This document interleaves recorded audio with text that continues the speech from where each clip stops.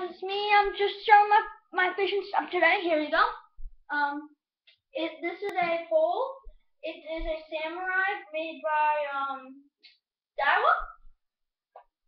It has a uh, Avenger reel AV408, and it's a its bearings its bearings is a seven, and it's a rest of uh numer numerals two.